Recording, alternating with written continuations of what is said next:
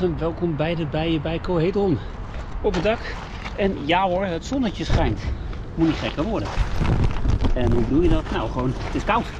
Het is koud, al een tijdje koud. En eh, dat merk je aan de bijen ook. Die, eh, ja, juni zou eigenlijk 22, 23 graden moeten zijn. Ja, maar dat is niet zo. Nou is het eh, vandaag eh, wat druk op het dakterras, omdat het zonnetje eindelijk schijnt. Dus ik ga zo ook even rook maken die vandaag en dan kun je even meekijken in het volk. Dus pak even flink wat rook. Eh, vandaag heb ik dat nog niet gebruikt, dus ik moet even de boel openmaken. Tot straks in de bijen, bij Kooiedron. Er meerdere dingen op dit moment. Er komen ook mensen het dakterras op. Het is lunchtijd. En de airco slaat aan. dus we hebben hard geluid van de machine naast me. Mooi. Hier heb ik al voldoende in gezien in deze. Deze heb ik net vorige week opgezet. Voor de zekerheid. Maar met die kou verwacht ik eigenlijk hier nog heel weinig dat erin gebeurt. Ik heb eh, rook die eh, geurloos is.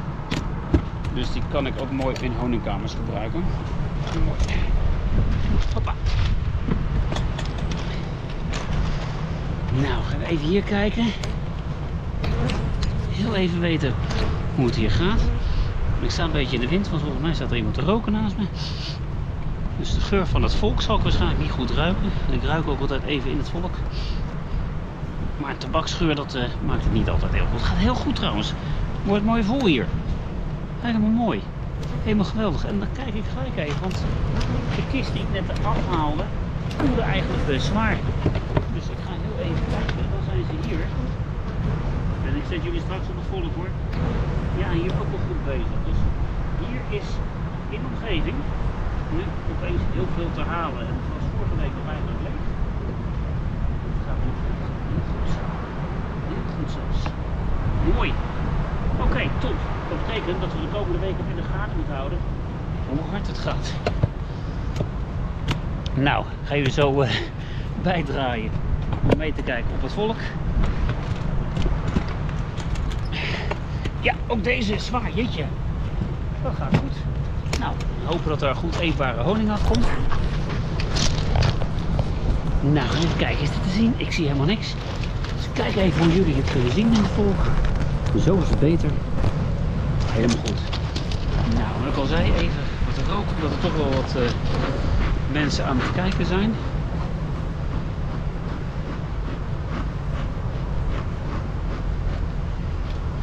Gaan we eens eh, bij de volken, bij de bijen eens kijken wat ze aan het doen zijn. Nou, mooi. Een raampje uit. Deze is mooi. Hoppakee. Nou, je ziet het.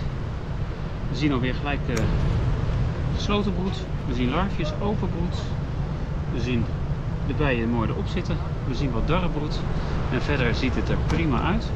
Dit raam, uh, had ik al een keer gezegd volgens mij, hebben ze helemaal zelf gebouwd zonder kunstdraad. Het ziet er helemaal goed uit. Mooi. Top. Zetten we even aan de zijkant neer. Ondertussen wordt er druk gefilmd en gefotografeerd. Hier zie ik ook weer een uh, raampje bij. Ziet er netjes uit. Heel mooi. Stuifmeel er ook op. Dus mooi keurig aan het bouwen. Nou, gaan we snel naar de volgende. We hoeven er niet heel lang in, hoewel die zon nu wel heel lekker is trouwens. Oh. Zo'n zonnetje en dan even uit de wind. Nou, hier zie je wat leuk. Allemaal een beetje rommeltjes. Die gaan we er even afhalen. Zo. Zit er mooi. Oké. Dit zijn geen uh, doppen verder. Dit zijn uh, eigenlijk darredoppen die op elkaar gestapeld worden.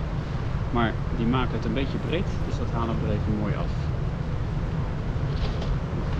Hier zien we prachtig, ik zal die kant laten zien, prachtig mooi broed.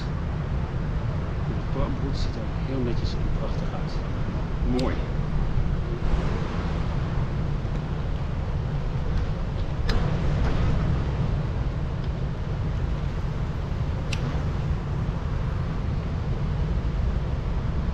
Ook hier paar speeldopjes. Niet heel bijzonder. Daar, daar, daar, daar. Wat zijn speeldopjes? Dat zijn eigenlijk onbelegde dopjes. Er zitten geen doppen in uh, eitjes en waar geen voedersap bij zitten een koningin aan te maken. Ze zijn gewoon leeg, maar die kunnen dus belegd worden, gevuld worden om een koninginnetje te maken. Nooddopjes kan je het noemen, speeldopjes. Uh, worden vaak niet belegd, maar die halen we wel weg voor de zekerheid. Dat ze niet belegd gaan worden. Dus ja, even met mijn knieën een beetje verplaatsen, want ik zit hier op een hele stapel stenen. Daar word je niet altijd heel gelukkig van. Even nog een beetje rook erbij. Zodat de bijen echt even bij mij blijven. En niet naar het uh, rokers... Uh, nee, die hebben zelf ook het rokersvolk naast mij. Even kijken hoor. Prima. Dopjes. Hier zie je heel veel nectar zitten. En dat is niet erg. Er mag nectar voor mij in de broedkamer zitten. Zeker. Dat betekent dat ze goed aan het halen zijn. Maar dat wil ik naar de buitenkant hebben. Nou wil ik dit raam er uiteindelijk uit hebben. Dus ik zet even het voedsel aan de buitenkant. Dan kunnen we het broednest mooi compact in het midden houden. Zo. Prima uit verder. Hoppakee. Nou, deze eigenlijk weer precies hetzelfde verhaal. Dit is ook gewoon vandaag een reguliere controle. Geen bijzondere dingen. Controleren op zwermen, controleren op gezondheid. En kijk naar de bijen, lopen ze normaal over het volk. Gaan nog een beetje, er staat wel een beetje wind hoor. Dus een beetje sneller doorheen. Kijk, dit is zo'n dop. Als ik hem open haal, zie je er ook voedsel, voedselsoppen in zitten. Dat kan dus, of dat wordt dus een koninginnendop. Nou, die is niet nodig. Ik zie dat het volk gezond is. Gaat hartstikke goed. Ze zijn heel hard in de groei nu. Dat klopt ook, dat moet in juni. Had nog iets harder gemogen, maar prima. Hartstikke mooi. Uh, een beetje ruimte maken daar. Geen rare dingen. Het volk ziet er gezond uit. Ik zie stuifmeel op de pootjes. Bijen lopen goed. Geen gekreukelde vleugeltjes. Want dat is een ziekte bijvoorbeeld. Hè. Deformed wing ik zei de vorige disease, maar het is deformed wing virus. Het is geen disease wing virus, maar deformed. Daar moeten we wel een beetje op letten. Hier zien we weer ook heel veel nectar in de broedkamer terechtkomen. Nou, ook dat zetten we kijken of we dat naar buiten moeten brengen of niet. Dat maakt ook een beetje dat ze denken ruimtegebrek te hebben. Uh, boven in de honingkamer is er nog ruimte. Ze kunnen gewoon nog aan de slag. En dan gaan we volgende week even kijken als het zo opeens heel hard gaat, wat nu helemaal niet gek is, moeten ze wel gaan verzegelen. dus kunnen we die afhalen. En als het zo aan het verzegelen zijn, top. Ik ziet er heel mooi uit. Dat betekent trouwens dat het voer hier om de hoek heel goed is. Dat er dus dracht is hier om de hoek. Ondanks de kou. Dus dat betekent dat er, ja, we zitten midden in de stad. Hè, dus die gebouwen hier, die maken wel dat het warm is in zo'n... Bijvoorbeeld in zo'n... Parkje ernaast. Hier zien we een dop die opengebeten is. Dus ook de koningin heeft dat bepaald, dat hoeft helemaal niet. En die bijt dat gewoon open. Klaar, heeft, heeft kans gehad om zich te ontwikkelen. Allemaal goed, geen rare dingen. Een beetje voer in de broedkamer. Dat doteer ik straks. En dan gaan we onthouden en even in de gaten houden. Hier zit ook wat voer in, dus die zetten we ook even die kant op. Nu zetten we deze hierbij. En dan hebben we weer de controle gehad. Geef ik een beetje rook erop.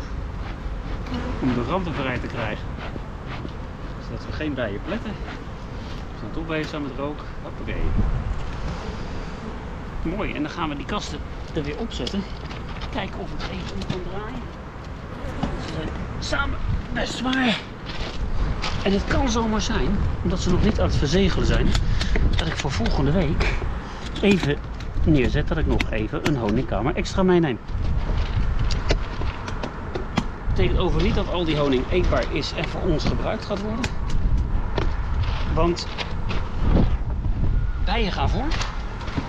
Dus we gaan echt zorgen dat de bijen eerst eten hebben. En dan wij en dan laten we ook nog even over. Dus, we, dus straks hebben we ook weer een maand dat er minder dracht is. Dus we moeten echt even zorgen dat de bijen echt zelf uitgebreid te eten hebben. Nou, ik kijk even of alle bijen van me af zijn. Jullie mogen nog even naar de bijtjes kijken. De lijntje. Je ziet het, ze zijn nog gelijk alweer bezig om naar binnen te gaan. En uh, Nou, dat was het eigenlijk bij Coheteron. En kijk op bijenhuren.nl. Filmpjes van dit jaar kun je volgen op de site bij de bijenvlogs. En eh, tot de volgende keer weer. Dag!